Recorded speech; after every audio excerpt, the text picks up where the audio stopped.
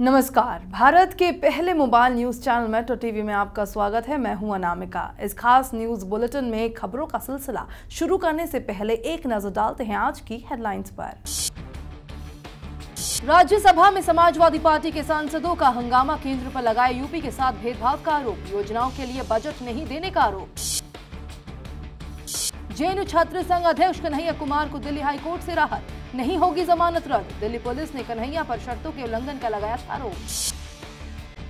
Supreme court से आसाराम को झटका। नाबालिग से रेप के मामले में जमानत याचिका रद्द। मेडिकल ग्राउंड पर मांगी थी जमानत। एम्स बोर्ड में मांगा रिपोर्ट। लालू के सिपा सलार रघुवंश ने नीतीश की शराबबंदी पर बोला हमला। कहा, नए कानून पर नीतीश के विधायक भी उनके साथ नहीं।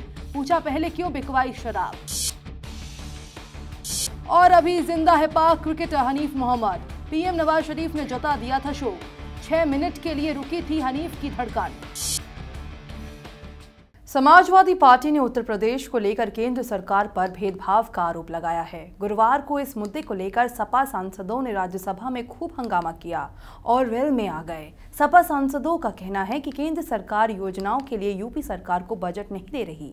इससे राज्य के विकास कार्यों में दिक्कतें आ रही हैं। सपा सांसदों के हंगामे के चलते राज्यसभा की कार्रवाई बार बार स्थगित होती रही और लंच तक सदन नहीं चल पाया। वही लोकसभा में भी शून्यकाल के दौरान सपा सुप्रीमो मुलायम सिंह यादव ने इस मामले को उठाते हुए केंद्र सरकार को निशाने पर लिया।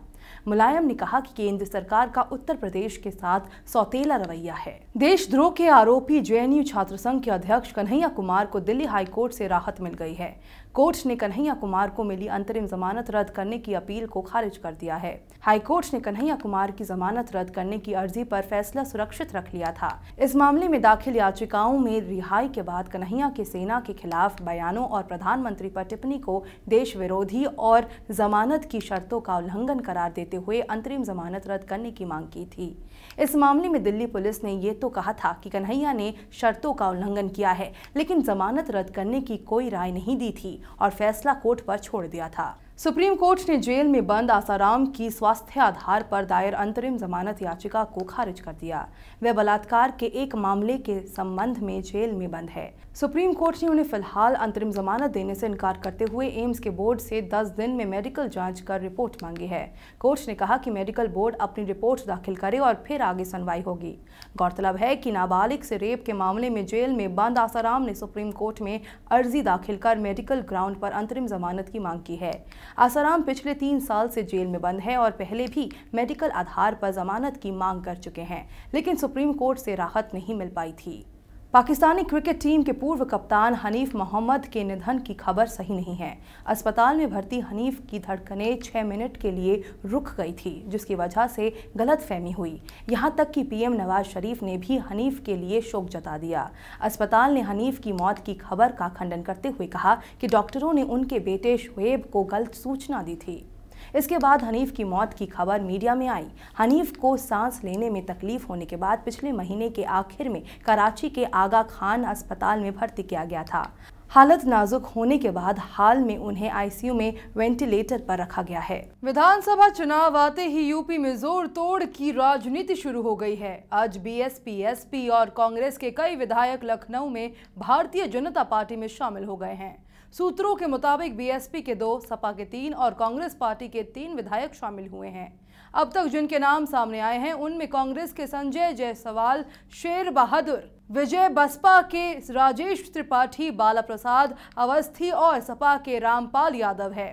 बताया जा रहा है कि बीजेपी में शामिल होने वाले ज़्यादातर विधायकों पर पहले ही से बागी का थप्पा लगा हुआ है। इसमें कई ऐसे भी हैं जिन्हें उनकी पार्टियाँ पहले ही दरकिनार कर चुकी है।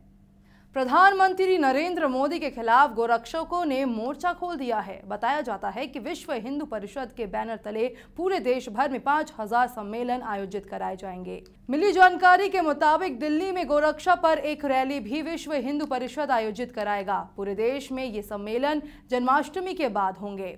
इससे पहले पीएम मोदी ने अपने एक संबोधन में कहा था कि ये सभी फर्जी गोरक्षक है। केंद्र सरकार के कर्मचारियों और पेंशनधारियों की तरह सातवें वेतन आयोग के मुताबिक वेतन के लिए हरियाणा और पंजाब के सरकारी कर्मचारियों का इंतज़ार लंबा हो सकता है। मोदी सरकार जुलाई में ही सातवें वेतन आयोग की सिफारिशों को लागू करने के लिए नोटिफिकेशन जारी कर चुकी है। लेकिन हरियाणा की खट्टर सरकार ने प्रदेश के कर्मचारियों को इसका फ़ायदा देने के बजाय एक कमेटी बना दी है, जो दो महीने में अपनी रिपोर्ट देगी। उधर पंजाब सरकार ने इसी साल फरवरी में छठे वेतन आयोग की सिफारिशों के मुताबिक कर्मचारियों के वेतन में बढ़ोतरी के लिए नोटिफिकेशन जारी किया था। पंजाब सरकार ने पिछले साल दिसंबर में ही सातवें वेतन आयोग की सिफारिशों को प्रदेश में लागू करने पर असमर्थता जता दी थी। कश्मीर घाटी में पिछले करीब एक माह से जारी हिंसा और तनाव के मद्देनजर आज लगातार चौतीसवें दिन भी कई इलाकों में कर्फ्यू और प्रतिबंध लगा है। दूसरी तरफ़ अलगावादियों की ओर से बुलाया गया बंद भी जारी है, जिसे आम जनजीवन बुरी तरह प्रभावित है। इस बीच अलगावादी मीरवाइज उमर फारूक को हिरासत में लिया गया है। एक वरिष्ठ पुलिस अधिकारी ने बताया कि पुलवामा, कुलगाम, शोपिया और अनंतनाग कस्बों में आज प्रतिबंध जारी रहेगा। श्रीनगर शहर सोपोर, बारामुल्ला, हंदवाड़ा, त्रेगाम, कुपवाड़ा, बड़गाम और गंदेरबल कस्बों के आठ पुलिस थानों में भी इसी तरह के प्रतिबंध जारी रहेंगे। हालाँकि श्रीनगर समेत घाटी के कई अन्य बड़े कस्बों में कुछ निजी वाहन सड़कों पर देखे गए थे। लोगों की पैदल आवाजाही भी देखी गई। पिछले पाँच दिनों में चीनी के दाम में छह रुपए प्रति किलो तक की वृद्धि ने सरकार की नींद उड़ा दी है। उपभोक्ता मंत्रालय के आंकड़ों के मुताबिक बीते पाँच अगस्त को चीनी छत्तीस रुपए प्रति किलो थी, जबकि बुधवार को कीमत बयालीस रुपए प्रति किलो तक पहुँच गई। सरकार को डर है कि कीमत पर जल्द अंकुश न लगाया गया तो त्योहार में चीनी और महँगाई हो सकती है। इस बीच चीनी की बढ़ती कीमतों पर अंकुश लगाने के लिए सरकार ने बाज़ार नियामक सेबी को इसके वादा कारोबार पर प्रतिबंध लगाने को कहा है। इस साल चीनी की उत्पादन भी करीब सात फ़ीसदी कम रहने का अनुमान है। साथ ही सरकार चीनी पर लगने वाले 40 प्रतिशत आयात शुल्क भी घटाकर 25 प्रतिशत करने पर भी विचार कर रही है। इस न्यूज़ बुलेटिन में फ़िलहाल इतना ही। ताज़ा तरीन खबरों को जानने के लिए जुड़े रहिए मेट्रो टीवी से। नमस्कार।